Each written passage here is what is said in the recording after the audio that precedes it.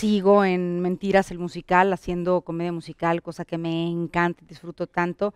Sigue Orinoco, una obra que estoy ensayando en este momento. No puedo decir mucho, pero sí te digo que estoy muy contenta porque hacía mucho tiempo que no hacía teatro, digamos, serio. ¿Sí? Como que todo el teatro que había hecho últimamente, o es cabaret en donde estás al tú por tú con la gente, o es teatro que te permite romper la cuarta pared, que puedes tener una pequeña interacción con la gente a pesar de que está pasando en otro lugar y en otro momento y demás. Y ahora con Orinoco, pues es un volver a, encerrarte en, en una ficción, en un personaje, que tienes que crear desde otro lugar y, desde los adentros. ¡Ay! Estoy emocionada. ¡Qué padre!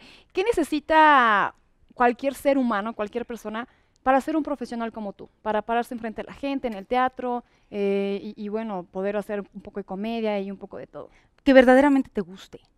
Que te guste y este, yo creo que el talento también sería bueno tener tantito. Claro. No, si ya tienes tantito talento, pues te puede gustar, pero si eres muy malo, pues la verdad. Sí, como es lo que quieren ser modelos y están así, digo, no, pues con la caray. bueno, puede ser un modelo de plus size, de, de, de, grandes, pero, pero sí me ha tocado, desgraciadamente, ver a gente muy entusiasta, que no hay quien le diga, ok, qué bueno tu entusiasmo, pero canalízalo a algún lugar en donde verdaderamente brilles, destaques, porque dices, es que me gusta mucho cantar, dicen, sí, pero no es lo tuyo. bueno, pero actuar, actúa bien bonito, mm, tampoco, pero bailo, no menos. Entonces dices, no, de verdad yo creo que es muy importante y es de gente muy inteligente encontrar cuáles son tus virtudes y verdaderamente explotarlas y darte cuenta y ser humilde cuando, cuando algo no se te da.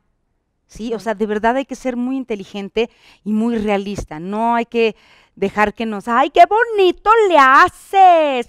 Ay, no, pero si le haces bien padre. No, no, no, no se dejen, o sea, la tía que te está diciendo que eres lo máximo, tu mamá siempre serán mamás cuervos, no le hagan mucho caso a ellos. Mejor busquen gente que sea honesta y que les diga su verdad, muchachos. Oye, Dalila, y yo te voy a enseñar a perder el estilo. Ay, Jesucristo. ¿Y sabes cómo? Más. ¡Danilo! ¿Dónde andas, Danilo? Mi hija, ¿cómo está usted? ¿Cómo está usted, mm, oiga? Dalila, yo quiero ser su Sansón. Ah, eso me han dicho muchos y nomás no hay quien, no. le dé el ancho.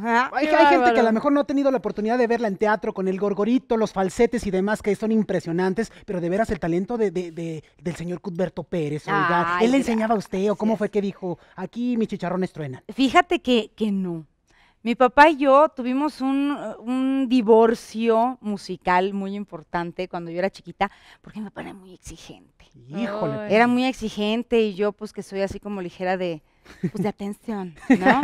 Distraída. Sí, distraidona, digamos. Entonces sí, este, hubo un momento en el que tuvimos un divorcio musical importante y yo nunca pensé que fuera a cantar, ni mucho menos. Soy carioquera. Tengo que, sí, aclararle a la gente, no crean que van a, si me van, por ejemplo, a ver a Mentiras ahorita, mis compañeras son cantantes, están, son leídas y escribidas en el arte de la cantada.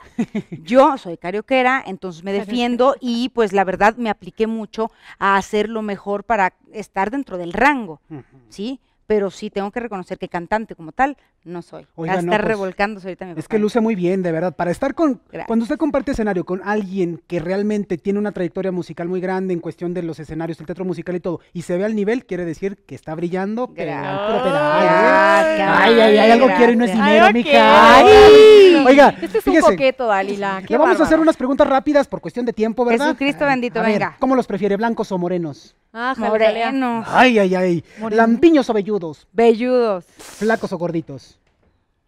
Fuertes. Ah, Ay, sí, fuertes. O sea, fuertes. Ni uno ni el otro, sino todo lo contrario. Más que nada lo que viene siendo. ¿Jóvenes o maduritos?